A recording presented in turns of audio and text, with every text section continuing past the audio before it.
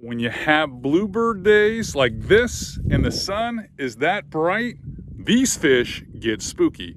But today, I'm gonna share with you a little tip on Flats Class YouTube that I think is gonna help you, especially with spooky redfish. It's all about the contrasting jig head with the natural colored bait. That's how you fool them, and that's how you time your bait to get in front of the right fish. Stay tuned. So one of the things I get all the time is why do you always pick such contrasting jig heads with your soft baits? And that's not really anything to do with trying to let the fish see the bait as much as it is me trying to figure out where the intercept point is when I'm sight fishing because that's what I do most of the time is sight fish. So often I'll pick a dark bait with like a white jig head or I'll use chartreuse or pink jig heads, but that's kind of standard for me.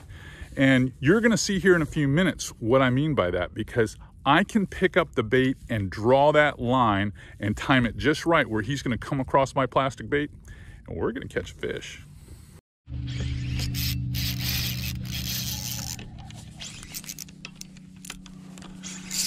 That is how you catch those spooky reds is with that little Bloody Mary jerk shrimp, dragging it on the bottom in the grass with a Ned rig, mushroom jig head.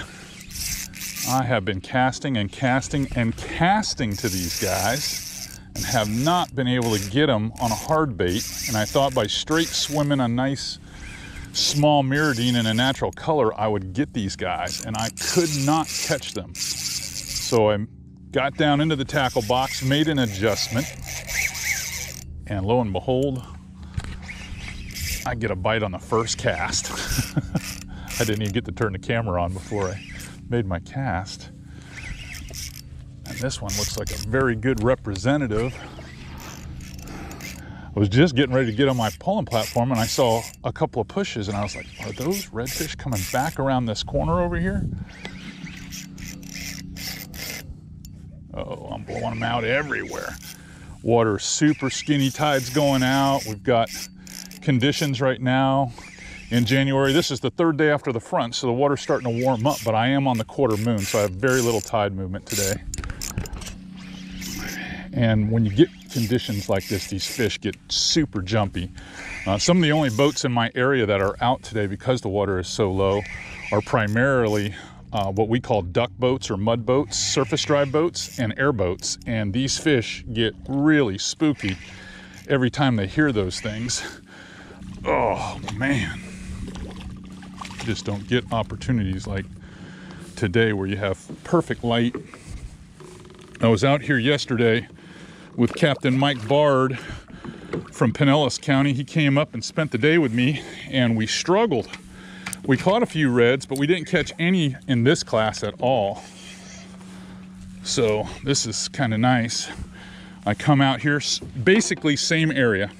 Um, fish are still be behaving really spooky. Wow. Tough bite um, yesterday.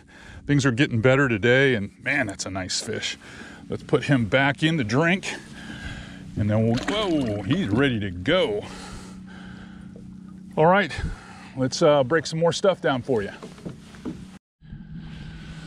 All right, the way I really like to work this bait is basically just to kind of lift it over the, the shallow spots in the grass and drag it, swim it real slow, kind of glide it, let it fall back into the grass. You want it keeping contact with the grass. You don't want it up in the middle of the water column. Even as shallow as it is, there are some deeper spots. So reeling it slow and pulling it through the shallow stuff where you've got that grass that fingers up and you feel it stick a little bit, you just got to pull through that. It's going to happen. Now, if it's too big a nuisance for you, you can always pick up the Z-Man Power Shrooms, which does have a weedless version. The only difference between this one 10th ounce and that one 10th ounce is the gauge of wire on the hook is a little heavier. But just pull that bait, swim it slow, pull that bait. As long as it's making contact with the bottom, you've got a shot at catching these spooky reds.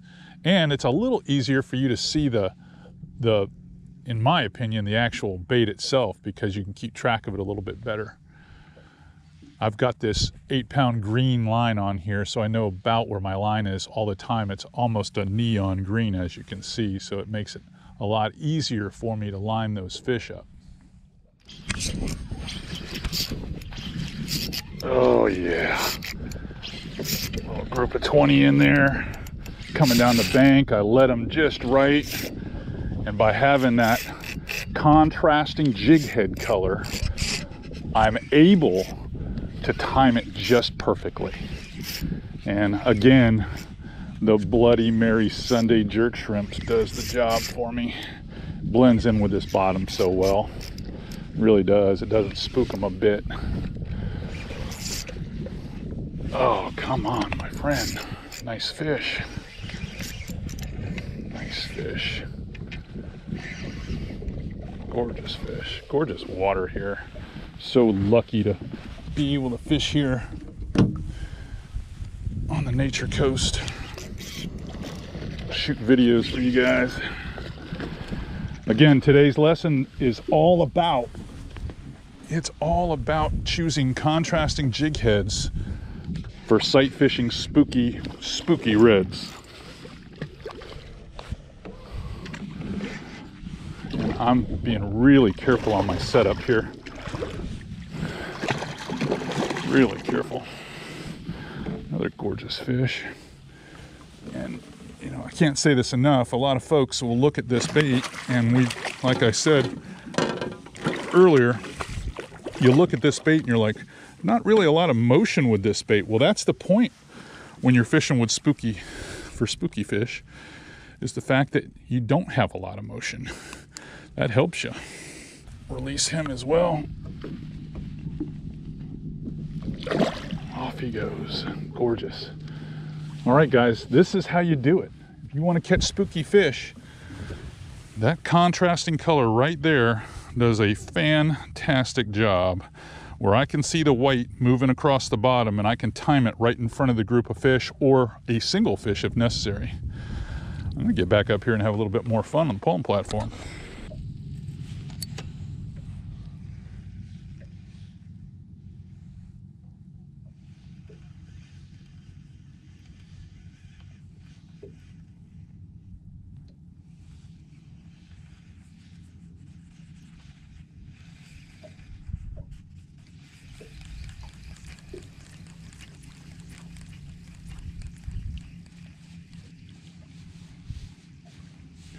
Saw some coming up my left side here.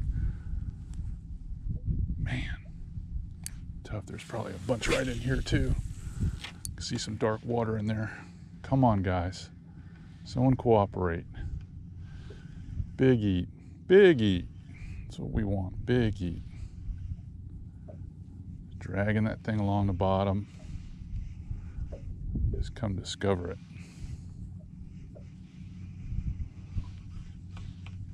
So hard to see these fish, believe it or not, as great as the sight fishing conditions are. The glare right now, because there's some haze, is making it tough. But what I'm doing is I'm reading all these surface signatures. And I know there's a group here in front of me of a few fish. There he is. Good Lord. There he is. Running at me. Oh,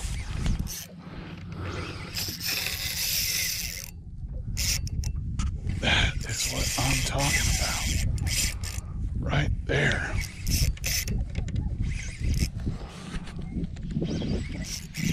Oh, man, spooky redfish. I'm showing you guys some secrets today that we used to use as redfish pros back in the day. And it is just I mean fun. I mean fun. Who needs a gulp bait when you can throw Z-Man, huh? that bait has action when it's sitting still. I mean, sitting still. Oh man, this is cool. And I am out here all by myself. I don't have one soul out here in this bay. Not a, not one person. This is nice. But it does work on pressured fish, I promise you guys. The reason I have my drag set so slippery on the Vanford here is I'm using a one tenth of an ounce mushroom jig head that is super light wire. And you just can't horse the fish. Just can't do it. Just can't do it. What a beautiful fish. Again, the Bloody Mary Sunday does it for me. Get hard to have a lot of control with these guys. Got down in the salad, but come on in here, buddy. Come on in here. Show everybody what we've done here. Oh. That's a solid fish right there. I mean, every bit of 27 inches. I mean, a chunk. A chunk. That's all there is to it. Contrasting jig heads, they help you see them.